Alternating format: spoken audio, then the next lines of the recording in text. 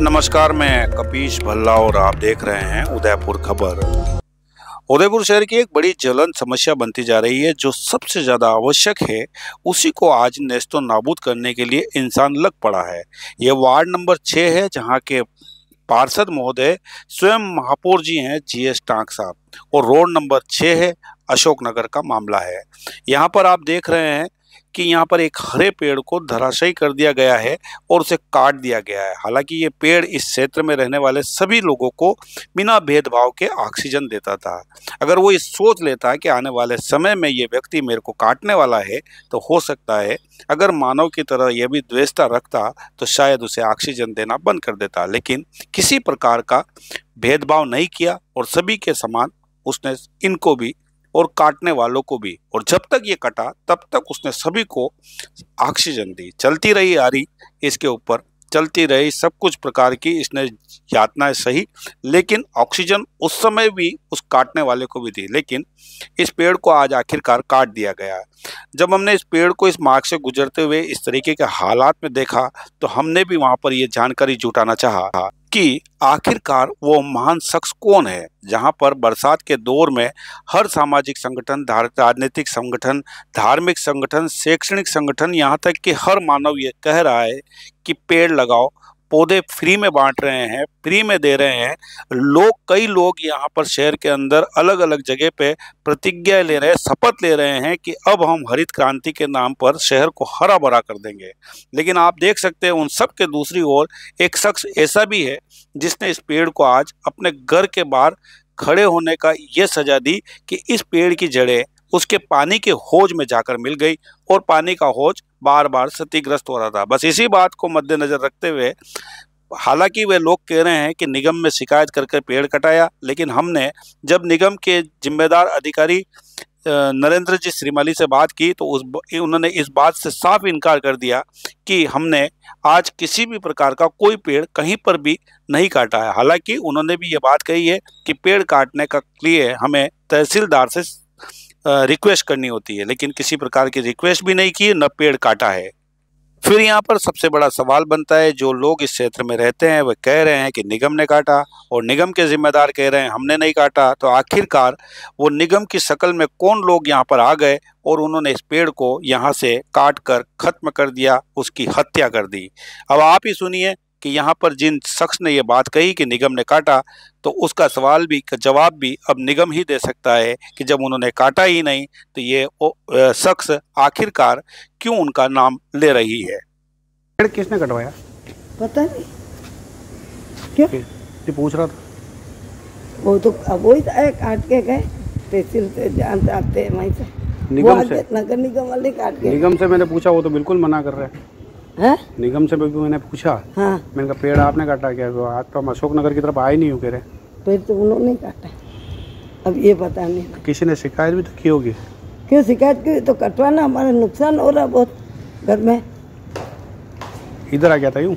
घर में ये सब फौज के अंदर रोज छह महीने में होज थी इसकी जो जड़े है फौज में चली गई। वो पानी पी जाते हो पानी पी जाता पानी भर जाता बहुत नुकसान हो रहा है हमारा तो। तो अभी भी पेड़ तो है जड़े तो निकली नहीं। वो तो काट के ले जाएँगे ना ये। उन्होंने काटा तो काटेंगे ये ना। अब ये पता नहीं मन तो बहुत नुकसान हर छह महीना में होती कराना पड़ी रहो। अच्छा। पानी अंदर है? वही तो बात हो रही है भाई जो नुकसान हो रहा था वो नुकसान तो अभी भी का वो नुकसान तो अभी भी है ना पूरा तो कटा नहीं। तो अबे वो कल आएँगे वापस आज। निगम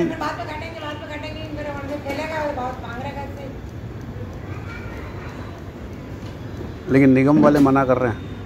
हाँ। हाँ वो साहब मना कर रहे हैं एच ओ साहब नरेंद्र जी श्रीमाली। हाँ। मैंने अभी फ़ोन किया उनको मैंने पेड़ कटवाया कि नहीं? है? वो तो एसिड डालना। हाँ वो नहीं नहीं वो एसिड अलग आवे। अलग आवे। हाँ अलग अब एसिड डालना पड़ेगा। अरे आप कह रहे थे मैं तो उधर रहता हूँ। तो आपको कैसे मतलब काटने से क्या हुआ? काटने के नहीं देते नहीं देते ना हमारे यहाँ से परमिशन नहीं देते पर अब घर का नुकसान कैसे भरे बोलो आप ही बोलो। लेकिन बात ये हो रही कि पेड़ भी है तो जड़ तो है।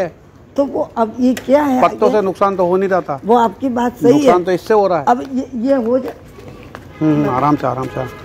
इसकी जड़ें अंदर जा रही है। हम्म, हर छह महीने में क्या होता है? वो पानी लीक हो गया। हम्म, वो इसमें मिक्स हो जाता। हम छह महीने वापस खाली करके कारीगर बुला के रिपेयरिंग करा। हम्म। मतलब हर छह महीने में। ये हमको करना पड़ता है। नहीं तो पानी भी ना करें क्या हम गई हूँ। कभी ये प्रॉब्लम आ रही अब पानी के गंदा पानी पी नहीं सकता। बात सही आपकी। है? और आज तो ठीक है कल तो मकान की नींव चढ़े भी कमज़ोर हो जाती है। सही बात है। फिर उस पेड़ को हमारे घर के बाहर क्या रहा? एक बताओ पेड़ भी देखो पेड़ भी ज़रूरी है। पेड़ ज़रूरी है। लोग अपने घर तोड़ के पेड़ लगा रहे हैं। जो- सुनो आप मेरे अंदर कितने लग रहे पेड़ देखो आप? अंदर हम्म। यानी उसमें गमले में। और इतने बड़े।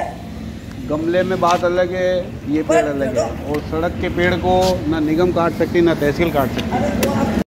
जब हमने इस मसले पर टेलीफोनिक निगम के जिम्मेदार अधिकारी नरेंद्र जी श्रीमाली से बात की तो आखिरकार पेड़ को काटने के संदर्भ को लेकर उन्होंने क्या कुछ कहा? अब आप वह भी सुन लीजिए।